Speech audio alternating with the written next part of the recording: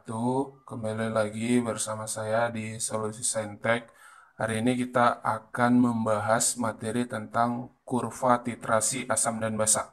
Jadi kurva titrasi asam dan basa yang mau kita bahas itu ada enam, ya kan?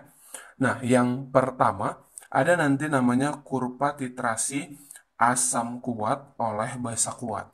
Berarti antara sampel dengan zat pentiternya sama-sama kuat.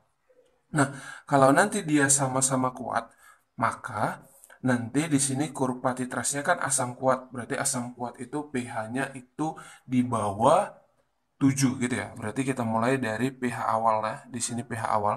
Berarti di sini awal artinya sebelum penambahan si basanya. Berarti di sini Kemudian nanti di sini ini awalnya sebelum penambahan, baru di sini nanti setelah penambahan dari sini ke sini itu nanti dia namanya titik sebelum titik ekuivalen gitu ya. Oke. Kemudian habis itu nanti di sini titik ekuivalennya itu adalah 7. Berarti apa titik ekuivalen? Kemarin pada saat eh, asam dan basanya itu dua-duanya habis bereaksi sehingga membentuk yang namanya garam. Berarti pada saat titik ekivalen itu maka yang kita gunakan rumusnya adalah hidrolisis garam. Nah, kemudian di sini pentiternya itu adalah basa kuat. Daerah perubahan pH drastisnya 4 sampai 10. Daerah perubahan pH drastis itu adalah ketika ditambahkan satu tetes saja pentiternya, maka perubahan pH-nya itu menjadi signifikan gitu ya. Oke. Kemudian titik ekuivalennya itu adalah 7. Indikator yang baik digunakan kalau di asam kuat oleh basa kuat itu boleh metil merah, bromtimol biru, dan fenoftalein. Tapi yang lebih tajam hasilnya itu adalah fenoftalein. Nah, nanti di sini itu sebelum titik ekivalen, maka rumus yang digunakan untuk mencari pH sebelum titik ekivalen itu adalah rumus asam kuat. Pada saat titik ekivalennya 7 itu menggunakan hidrolisis garam. Setelah titik ekivalen, berarti setelah setelah titik ekuivalen, maka nanti yang digunakan rumus untuk mencari pH-nya itu adalah rumus pH basa kuat. Oke, kemudian yang B, berarti di sini dia basa kuat oleh asam kuat. Kalau dia basa kuat oleh asam kuat, berarti pentiternya itu adalah asam kuat. Daerah perubahan pH drastisnya 4 sampai 10, pH titik ekuivalennya 7.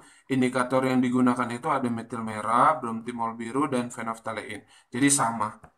Hanya saja yang membedakan karena dia basa kuat, basa kuat itu kan pH-nya itu lebih besar dari 7. Sehingga kita tarik titik awalnya itu adalah dimulai di atas 7. Kalau ini kan tadi asam kuat, berarti di sini. Nah, titik awal ini berarti sebelum dilakukan yang namanya titrasi. Jadi sebelum dilakukan titrasi. Nah, ini grafiknya gini turun ke bawah, ya kan? Nah, kalau dari sini ke sini, itu nanti dia menggunakan rumus yang namanya basa kuat. Ya kan? Basa kuat, kemudian pada saat titik ekuivalennya menggunakan rumus hidrolisis garam, setelah titik ekuivalennya, berarti setelah titik eh, pada pH 7, maka kita gunakan rumus si asam kuat. Yang ketiga, ada nanti dia asam kuat oleh basa lemah. Pentiternya itu adalah basa lemah daerah perubahan pH-nya itu 4 sampai 7, pH titik ekivalennya 5 sampai 6. Indikator yang baik digunakan itu adalah metil merah. Nah, ini asam kuat. Berarti kalau asam kuat kita mulai dari sini ya. Asam kuat nih, dari bawah kemudian ke atas sampai basah. Nah, di sini sebelum titik ekivalen, nanti kita mencari pH-nya itu adalah asam kuat. Kemudian pada saat titik ekivalen nanti hidrolisis garam yang bersifat asam. Kemudian setelah titik ekivalen maka nanti kita gunakan itu adalah rumus buffer basa. Jadi semua itu grafiknya hubungan terhadap pH dengan volumenya. Jadi semua hubungan pH terhadap volumenya, ke 6-6-nya gitu ya. Oke, yang keempat ada nanti dia basa lemah oleh asam kuat. Pentiternya asam kuat, daerah perubahan pH drastisnya 4 sampai 7, pH titik ekivalennya 5 sampai 6, indikator yang digunakan metil merah. Jadi ini sama. Nah, karena di sini dia basa lemah, berarti kita pakai rumus nanti awalnya di sini pakai rumus yang namanya ini ya, yang pertama ya. Yang pertama sebelum dititrasi pakai rumus basa lemah. Tapi setelah dilakukan uh, ditambahkan volume si asam sulfat, maka rumus yang digunakan sudah rumus buffer gitu. Jadi sebelum titik ekivalen pakai rumus buffer basa, setelah pada saat titik ekivalen pakai rumus hidrolisis garam bersifat asam, kemudian setelah titik ekivalen menggunakan rumus asam kuat. Itu untuk mencari harga pH-nya gitu.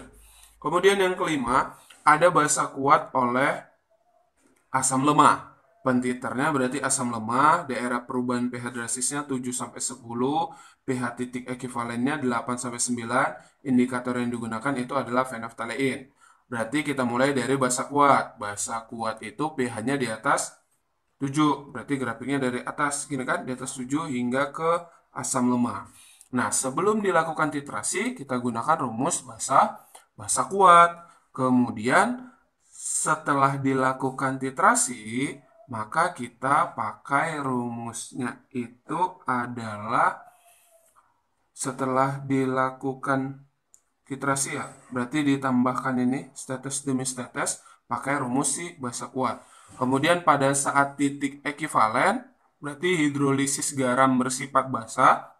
Kemudian setelah titik ekivalen, jadi setelah titik ekivalen yang di antara 8 sampai 9, kita menggunakan rumus buffer. Buffernya itu adalah buffer asam, buffer atau larutan penyangga.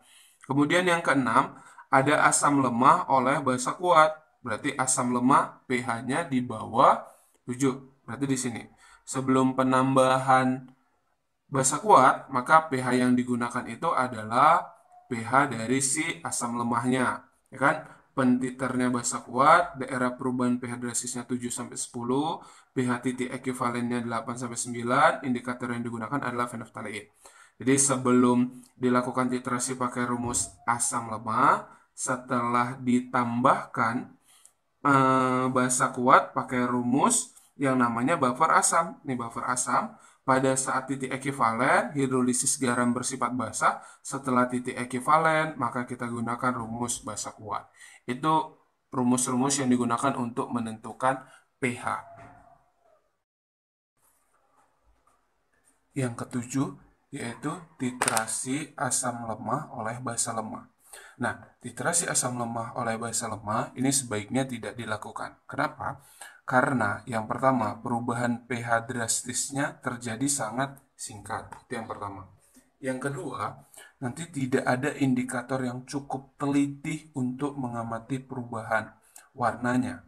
Yang ketiga, reaksi berlangsung lambat dan tidak tuntas. Sehingga titrasi untuk asam lemah dengan basa lemah itu tidak di, disarankan ya.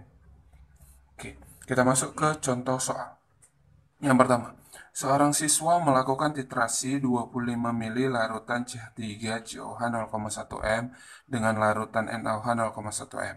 Perubahan volume larutan NaOH yang ditambahkan menyebabkan perubahan pH. Jadi ketika ditambahkan volume sedikit demi sedikit, maka pH-nya itu semakin bertambah. Yang ditanya adalah grafik yang dibuat yang dapat dibuat. Berarti kalau gitu kita hubungkan antara perubahan volume NaOH perubahan volume NaOH dengan dengan pH, gitu kan. Nah, sekarang gini. Kita jawab.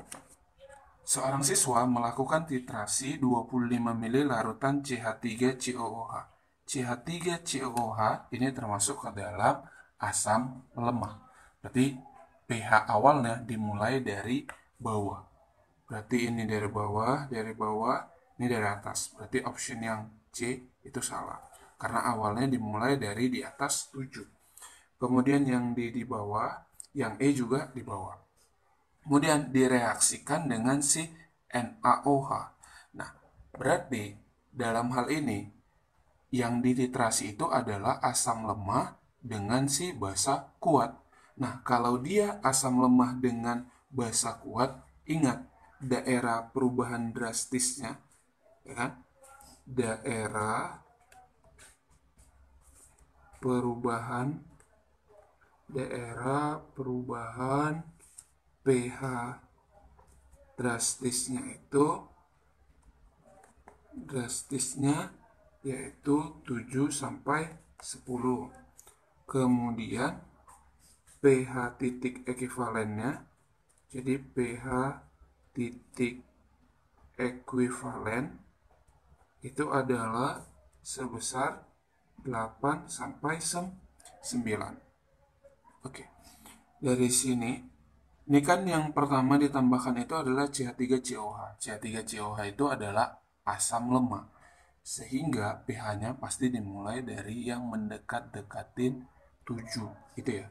Berarti kalau ini di bawah 2, maka ini seharusnya asamnya adalah asam kuat. Berarti salah. Ini juga di bawah 2, salah. Ini juga di bawah 2, salah. Berarti yang memungkinkan itu adalah si E. Ya kan nilai pH-nya. Maka jawabannya untuk nomor satu adalah entop. Nomor 2. Perhatikan grafik titrasi asam basa berikut. Jadi grafiknya itu adalah volume HX. Berarti HX ini adalah volume dari si asam, gitu ya. Nah, jika volume larutan yang dititrasi sebanyak 10 mili, berarti yang dititrasi sebanyak 10 mili, maka konsentrasi basa LOH adalah kita buat dulu dari sini, diketahui. Yang diketahui itu adalah volume dari si HX itu berapa? 25 mili. Berarti volume dari HX sebesar 25 ml.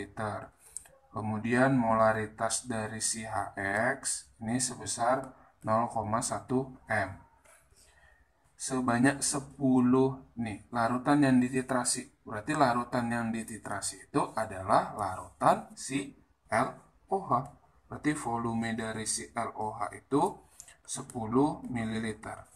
Yang ditanya itu adalah konsentrasi, berarti M dari si L LOH. Nah, kalau nanti misalnya menentukan ada grafik gini, menentukan volumenya, dia nanti yang garis lurus sejajar. Itu berarti nanti volume yang digunakan. Mantau nanti ada soal di sini misalnya 10, 15 gitu. Nah, ini ketepatan kan ini udah dibuat hanya nampak ke 25 jadi kalau ada nanti ini enggak ada garisnya tinggal tarikkan garis yang lurusan dengan ini itu berarti volumenya Oke.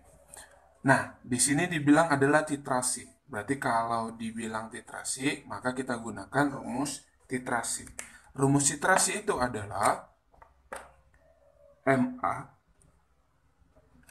VA dikali A sama dengan MB VB dikali B. MA VA dikali A itu adalah asam. Ya. Kemudian MB VB dikali B itu adalah basa. Nah asamnya itu adalah si HX. Basanya adalah si LOH. Berapa molaritas asamnya? Molaritas asamnya adalah 0,1. Berarti di sini 0,1 kali volumenya 25 mili dikali A-nya banyaknya H, jadi di sini banyaknya H1, berarti kita buatkan 1 sama dengan molaritas basanya yang ditanya, berarti M dari si basa, volume basanya adalah 10, B-nya itu banyaknya OH itu 1, berarti 1. Berarti 0,1 kali 25, 2,5 sama dengan kali 1 berarti 2,5 MB 10 kali 1 10 kali kemarin jadi bagi berarti per 10 berarti molaritas basanya 2,5 bagi 10 0,25 M jawabannya adalah ayam Baiklah, demikian video kita kali ini mengenai kurva titrasi asam dan basa. Jangan lupa tonton video-video selanjutnya dari Solusi Sentek. Terima kasih.